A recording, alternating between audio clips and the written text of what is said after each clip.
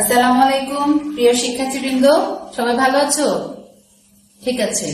আমরা আজকে পড়ব রাসায়নিক বন্ধন। আমি লিখছি, তোমরা খাতায় লিখে ফেলো, রাসায়নিক বন্ধন।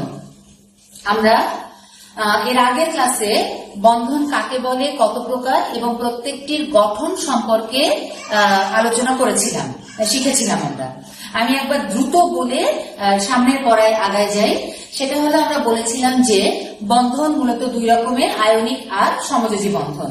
আয়নিক বন্ধনের ক্ষেত্রে আমরা বলেছিলাম যে, ধাতু আর অধাতুর মধ্যে ইলেকট্রন ত্যাগ এবং গ্রহণের মাধ্যমে আয়নিক বন্ধনটা গঠিত হয়। আর সমযোজী বন্ধনের ক্ষেত্রে আমরা বলেছিলাম, দুটি অধাতু পরমাণু তাদের শেষ শক্তি স্তরের ইলেকট্রন শেয়ার করে বা ভাগাভাগি করে বন্ধনটা গঠন করে। এটা নিয়ে আজকে আমরা পড়ব না। আমরা আজকে পড়ব আয়নিক এবং সমযোজী যৌগের বৈশিষ্ট্য। তাহলে আয়নিক ও সমযোজী যৌগের বৈশিষ্ট্য পড়তে আগে আমি তোমাকে বলি আয়নিক এবং সমযোজী যৌগটা কি? কিছুই না। তার মানে যে সকল যৌগে আয়নিক এবং সমযোজী বন্ধন আছে, তাদেরকে আয়নিক বা সমযোজী যৌগ বলা হয়। যৌগের বৈশিষ্ট্য। তোমরা বইতে খেয়াল করতে পারো, বইতে আমাদের তিনটা বৈশিষ্ট্যের কথা বলা আছে, আমরাও এই তিনটা নিয়ে আলোচনা করব।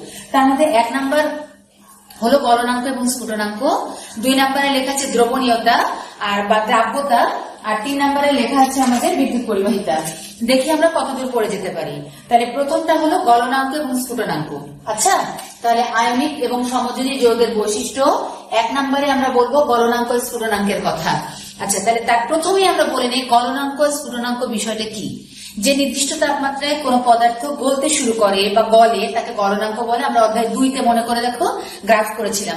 স্ফুটনাঙ্ক হলো যে তাপমাত্রায় পদার্থটা ফুটে যায়, তাকে স্ফুটনাঙ্ক বলে। এগুলো আমাদের পড়ার বিষয় না। আমরা পড়ছি আয়নিক ও সমযোজী যৌগের বৈশিষ্ট্য। আচ্ছা আমি তোমাদেরকে বলে দেই, আগে মন লাগাই শুনি, আয়নিক যৌগের গলনাঙ্ক এবং স্ফুটনাঙ্ক বেশি হবে। আর সমযোজী যৌগের গলনাঙ্ক এবং স্ফুটনাঙ্ক কম হবে। তো আমরা খাতায় লিখে নিতে পারি হ্যাঁ?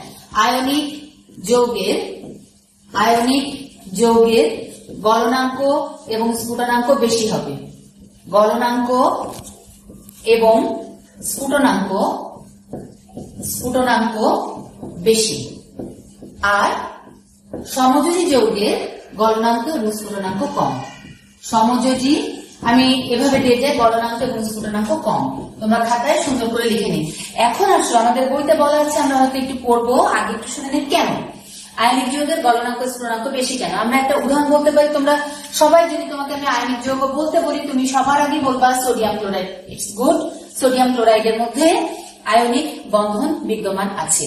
আমরা গঠন থেকে বলেছিলাম, আমরা এটা বাদ দিয়ে আরও একটা কথা বলতে পারি ক্যালসিয়াম ফ্লোরাইড এটা আয়নিক আমি আরেকটা বলতে পারি ম্যাগনেসিয়াম অক্সাইড তিনটা আয়নিকের নাম লিখলাম। এটার কোনো দরকার নেই, আমরা পড়ছি কেন গলনাঙ্ক স্ফুটনাঙ্ক বেশি? গঠনটা আমরা মনে করে দেখি সোডিয়াম ক্লোরাইডের গঠনটা এরকম ছিল যে সোডিয়াম ইলেকট্রন ত্যাগ করে ধনাত্মক আয়ন হয়েছে আর ক্লোরিন সেই ত্যাগকৃত ইলেকট্রনটা গ্রহণ করে ঋণাত্মক আয়ন হয়েছে। তারপরে সোডিয়াম আয়ন আর ক্লোরাইড আয়নের মধ্যে আকর্ষণের মাধ্যমে আয়নিক যৌগ সোডিয়াম ক্লোরাইড গঠিত হয়েছে। তাহলে সোডিয়াম ক্লোরাইড যৌগটি গঠিত হয়েছে দুটি বিপরীতধর্মী আয়নের মধ্যে আকর্ষণের মাধ্যমে। ঠিক আছে? তাহলে দুটি বিপরীতধর্মী আয়নের আকর্ষণের মাধ্যমে আয়নিক যৌগগুলো গঠিত হয়। আর এই কারণে গলনাঙ্ক স্ফুটনাঙ্ক বেশি হয়ে যায়। কেন? এখন এই ধনাত্মক আর ঋণাত্মক আয়ন পাশাপাশি অবস্থান থেকে বন্ধনটা গঠিত হয়। তো এদের মধ্যে আকর্ষণটা আমরা বুঝতেই পারছি, আমরা জানি বিপরীতধর্মী আয়ন পরস্পরকে আকর্ষণ করে এবং অনেক বেশি আকর্ষণটা হয়। তো এই দুটা পরস্পরকে ভালো করে আকর্ষণ করে আছে, অনেক বেশি আকর্ষণ করে আছে। এটাকে আমাদের গলানো মানে এই আকর্ষণটাকে ছিন্ন করতে হবে সরাই দিতে হবে। আর খুব সহজে এটা সরবে না। প্রচুর পরিমাণে তাপ লাগে তো সেই তাপে যে এদের আকর্ষণটা ছিন্ন হবে ফলে তারা বলতে শুরু করবে এবং তারপরে আরও উচ্চতর তাপে সে আকর্ষণটা আরেকটু ছিন্ন হবে, তখন সেটি ফুটতে শুরু করবে। আমরা বুঝতে পারলাম, এত বড় আমাদের লেখার দরকার গুছিয়ে লিখব যে আয়নিক যৌগ তৈরি হয় দুটি বিপরীতধর্মী আয়নের মধ্যে আকর্ষণের মাধ্যমে। আমরা বন্ধনের ব্যাখ্যায় পড়েছিলাম এদের মধ্যে যে আকর্ষণটা থাকে, তাকে বলে স্থির বৈদ্যুতিক আকর্ষণ বল। তাহলে স্থির বৈদ্যুতিক আকর্ষণটা উল্লেখ করলেও চলবে, না করলেও চলবে। তাহলে আয়নিক যৌগ গঠিত হয় দুটি বিপরীতধর্মী আয়নের স্থির বৈদ্যুতিক আকর্ষণ বা আকর্ষণের মাধ্যমে। এই আকর্ষণকে ছিন্ন করে এদেরকে গলাতে হবে। আর এই আকর্ষণকে ছিন্ন করার জন্য প্রচুর পরিমাণে তাপের প্রয়োজন হয়। আর এই কারণে আয়নিক যৌগের গলনাঙ্ক এবং স্ফুটনাঙ্ক বেশি হবে। বুঝতে পারলাম? ঠিক আছে। আমরা চলে যাই সমযোজী যৌগের ক্ষেত্রে।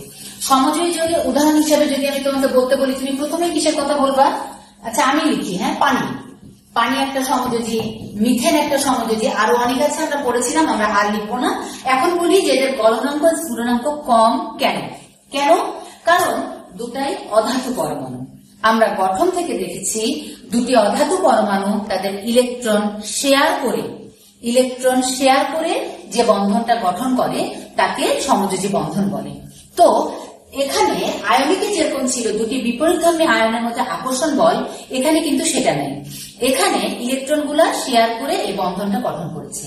কাজেই কাজেই এই বন্ধনকে মানে এদেরকে গলনাঙ্কে নিয়ে যাওয়া মানে হলো জাস্ট এই বন্ধন থেকে এদেরকে আকর্ষণ বলটাকে মুক্ত করা।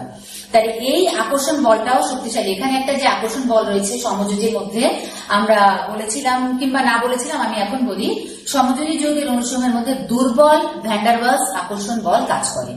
তো সমযোজী যৌগকে যখন আমরা গলাতে যাব বা ফুটাতে যাব, তখন তাদের এই ভ্যান্ডারবাস আকর্ষণ বলকে ছিন্ন করলেই হবে, আর তেমন কিছু প্রয়োজন নেই। তাহলে সমযোজী যৌগের আমরা এটা পড়ছি যে কেন পলনাঙ্ক স্ফুটনাঙ্ক কম? আমরা বলব যে সমযোজী যৌগ তৈরি হয়েছে দুটি অধাতু পরমাণুর ইলেকট্রন শেয়ারের মাধ্যমে। এখানে এদের ইলেকট্রন শেয়ার করে বন্ধনটা গঠিত হয়েছে এবং এদের মধ্যে যে আকর্ষণ বলটা কাজ করে সেটি হলো দুর্বল ভ্যান্ডারবাস আকর্ষণ বল।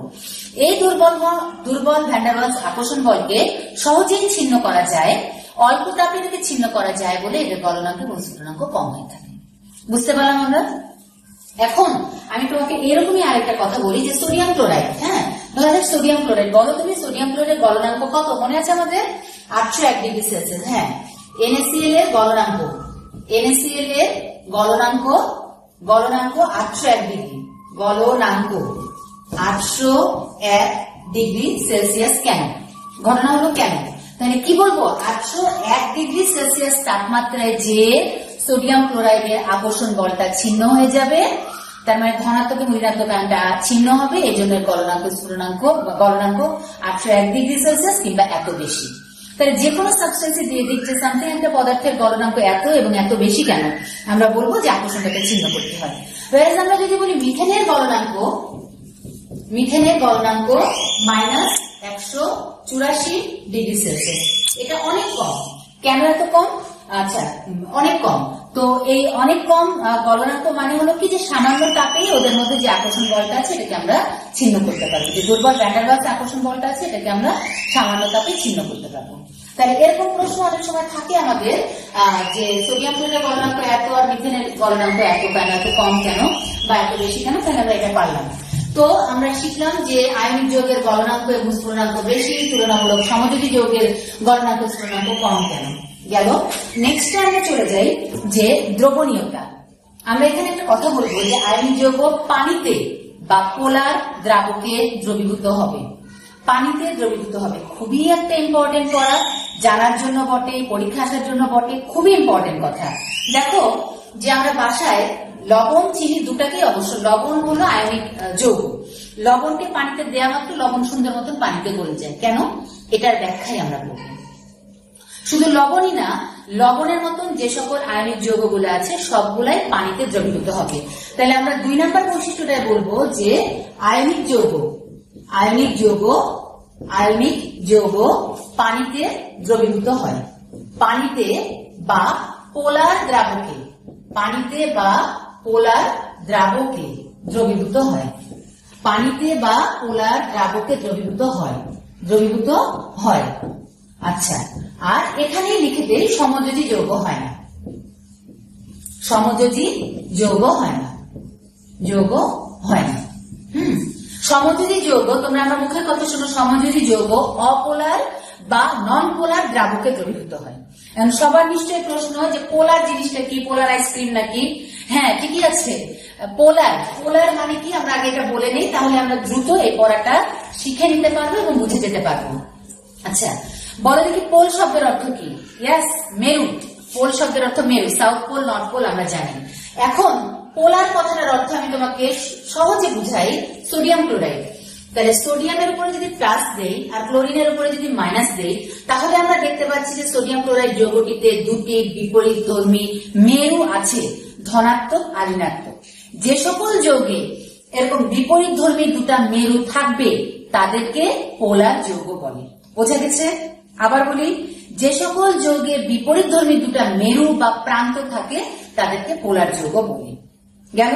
তাহলে সকল আয়নিক যৌগই হলো পোলার যৌগ। ঠিক আছে।